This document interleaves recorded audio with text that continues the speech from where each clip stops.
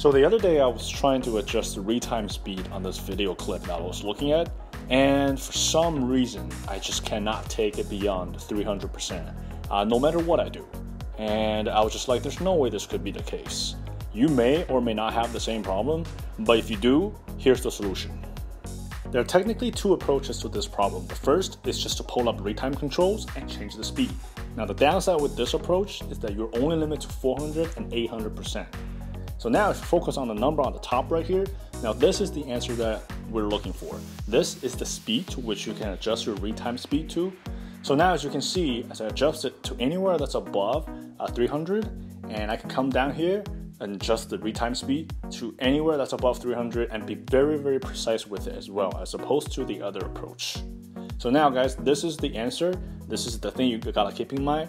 It's the number on the top right here. Now this is the number, you can take it even all the way to a thousand percent you can see.